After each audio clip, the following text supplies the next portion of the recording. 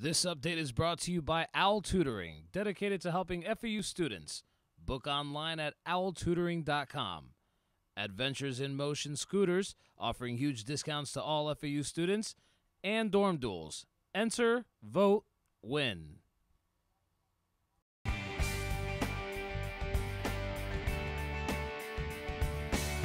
Hi everyone, I'm Alexis Toledo with your Owl News Now update. The School of Communications and Multimedia Studies will be having Middle East expert Deepa Kumar from Rutgers University lecturing on racism and the politics of the Muslim community. Kumar talks about Islamophobia and how it's been used ever since the 9-11 terror attacks. Kumar is also the author of Outside the Box, Corporate Media, Globalization, and the UPS Strike.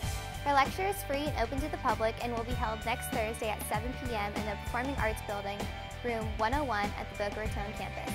I'm Alexis Toledo, and this has been your Owl News Now update.